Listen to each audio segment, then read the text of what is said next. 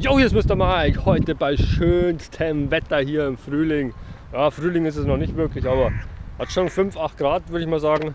Und heute möchte ich euch mal den Floater zeigen. Ich sage nicht gerne Floater dazu, für mich ist es der Raindrop. Raindrop, äh, Chris Paul macht den gerne, äh, Tony Parker zum Beispiel. Und es gab mal eine Zeit, da hatte ich den so perfekt drauf. Ich habe damit so viele Punkte gemacht.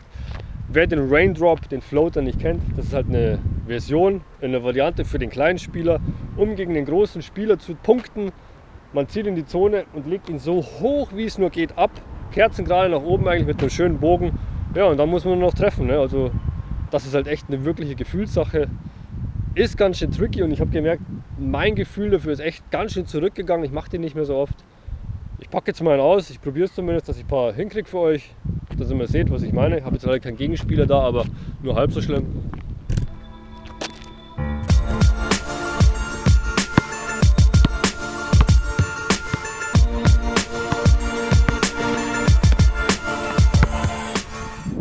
Ja, ich merke schon, ich muss ich mal wieder üben. Habe echt beschissenes Gefühl dafür.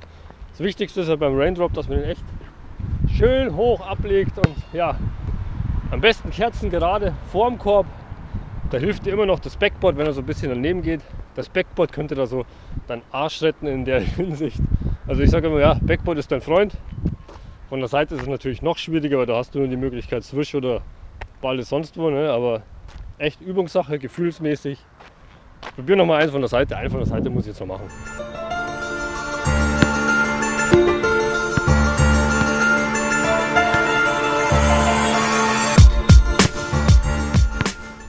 Ja, man merkt es eigentlich schon beim Loslassen, ob der jetzt was wird oder nicht. Also so ist es bei mir zumindest. Ist ja auch beim Werfen das gleiche. Du merkst ja gleich, hey, Richtung passt, äh, Flugkurve, der Touch kam gut raus, Ball rotiert sich schön.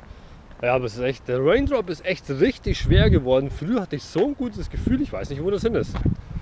Ich mache den, glaube ich, einfach zu selten. Aber Raindrop für einen kleinen Spieler echt eine gute Waffe, vor allem wenn er den drauf hat.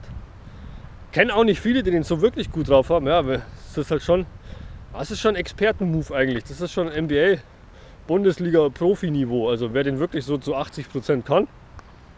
Ich finde den geil, hat mir immer gefallen. Ist halt so ein kleiner Spieler-Move. Ja. Probiert es aus, macht es nach. Holt euch das Gefühl, auf jeden Fall eine effektive Waffe. Wer das im Repertoire hat, super geiles Teil. In dem Sinne, vielen Dank fürs Zugucken. Euer Mr. Mike.